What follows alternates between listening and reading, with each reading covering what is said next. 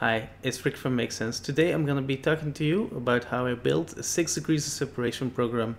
So in short what I did was I used Python and the MovieDB API to link two actors to each other, to the films they played in and the actors they played with.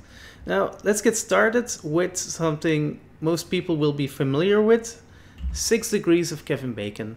So the idea behind Six Degrees of Kevin Bacon is that Kevin Bacon has worked with everybody in Hollywood or someone who's worked with them. Now, if we look at the numbers, Kevin Bacon has worked on 99 films, projects, documentaries. He was in them with 2,148 people.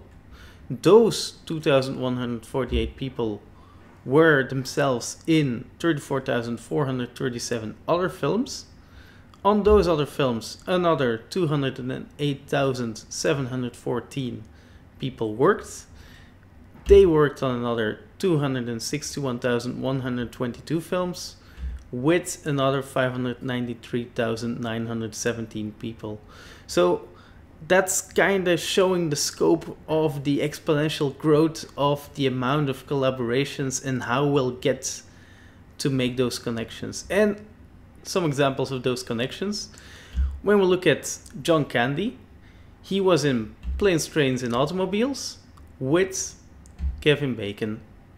Brie Larson was in Basmati Blues with Donald Sutherland, who was in JFK with Kevin Bacon.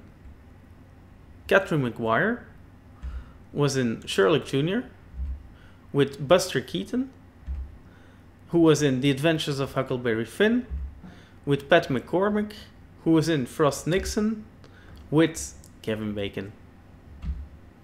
Now, for the actual Six Degrees of Anyone program, we don't just want to make connections between Kevin Bacon and other people, we want to be able to just make a connection between any two actors. So what we want to do if you have the idea of showing people the films they worked in and and get that entire graph up when we have the first person marked A and the second person marked B we want to find the shortest connection between those two people. Now how are we going to do that? We are going to start with the first person person A. We're going to look one by one at all the people they worked with if we find the person we're looking for in the people they worked with, great. If we don't, we look at the next level. We look at the people who worked with the people they worked with. So we start looking at all those people again. And then when we find the actual solution, we are at the end. This is called the breadth first search. Why are we using the breadth first search? We want to find the shortest chain. We don't want to have the fastest answer. We don't want an algorithm that's as fast as possible. We just want to specifically find the shortest chain and that is why we need to go over every single one of the people they worked with in each level. So something else we also want to include in the program. We don't just want to know the uh, how far every single person is connected to each other. We also want to know the entire chain that took us to get there. We want to know every single film person that's in between these two people. What we also want to know is usually there's multiple films and multiple people in between them. We want to know all these different people just because sometimes some connections may be more interesting than other connections. So we don't just want to stop the program the moment we find one connection. Now, for the implementation, we're looking at Python and we're getting our information from the MovieDB. The MovieDB has an API. Thanks to the MovieDB API, we can retrieve information for a person by the person ID and we can append to the response the credits this person has worked on. We can also do a call for a movie where we get the information about the movie including the credits, so all the people who worked on the movie. So when we look at Postman, the call basically looks like this. And the call for the credits in Postman basically looks like this. so while our program is running, we have to keep some data uh, in memory. For instance, we keep data about the different people we are uh, handling. That data includes a person ID, so the ID of that person in the OpenMovieDB. We include the name of the person and we include the chains. Now these chains is all the films and people that are between the start person and this person. And we also want to record if this person has been enriched. More about that later, but that's basically if we handle this person, if uh, we've done everything we want to do with this person, this person will show up as enriched. Then there's for the film, we do a similar thing where based on the ID of the film, we record if it's been enriched. And then we also have the result chains. The result chains is a list with all the chains, so uh, combinations of film and uh, actors that lead from the start to the uh, result, the person we're looking for. So whenever we find this connection, we will add this to the result chains. And then uh, when we've done every person on a specific level, we can check is there something in the result chains. If there is something in the result chains, we know we found a result.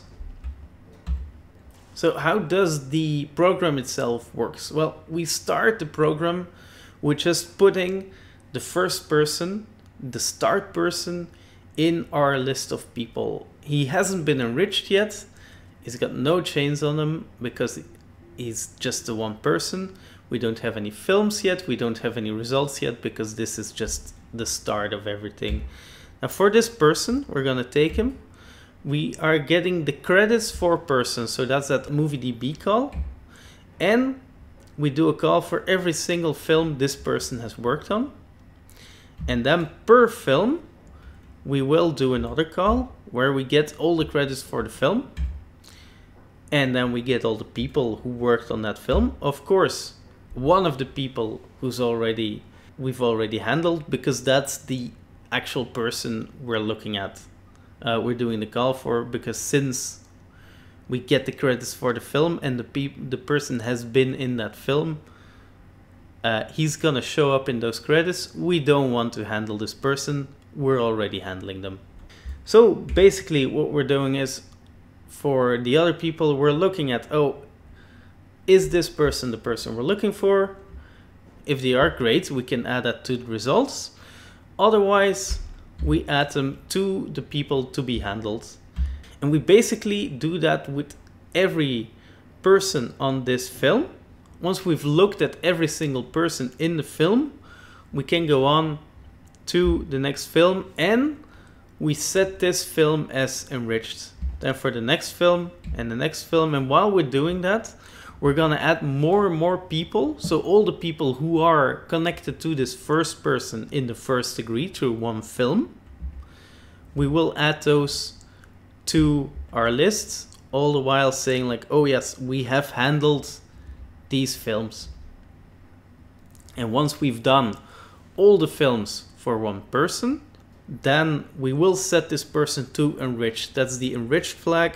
And the next step is that we start from the first person who's not been enriched. And again, we get all the credits for the person. Of course, this time there may be some films that were already handled because the person may have worked on some films that other people have worked on. And again, we are looking at every film that has not been handled yet. We are getting the credits for the film.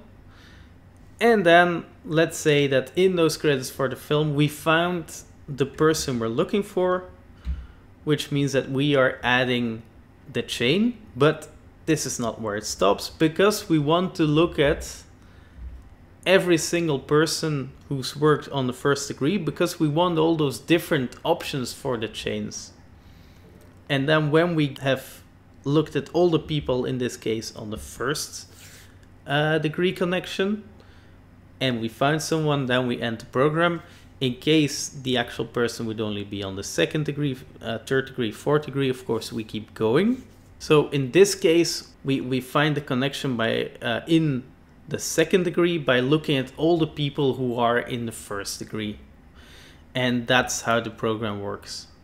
Now, of course, it's always interesting to keep working on the program. And here are some things I would like to implement going forward. For instance, it might be interesting to have a different way to get info. Now, uh, the MovieDB just shows everything. TV shows uh, where people might just be interviewed as a guest, uh, documentaries, and it might be nice to have a way to only have feature films. Aside from that, the MovieDB also shows projects that are still in development, so they may never actually be finished. And in that case, you're making connections between people who have not actually worked with each other. So it might be interesting to find a different API or maybe even write a scraper for IMDb, although that would take a lot more time to do all the scraping. Aside from that, it might be interesting to tinker with the program, think of a different search algorithm. Now, as I mentioned in this video, we're trying to find the all the connections, all the shortest connections, and that's why we've got the breadth first search algorithm, but maybe there are ways to find a link faster. We might need to make more connections to actually get to the person, but that might be a, a way. So that's the end of the video. I hope you learned something. If you have any questions, if you have any comments, if there's things I could be doing a lot better, do let me know in the comments. If you like this video, please like and subscribe. I hope I'll be making more and uh, see you later. Thank you very much.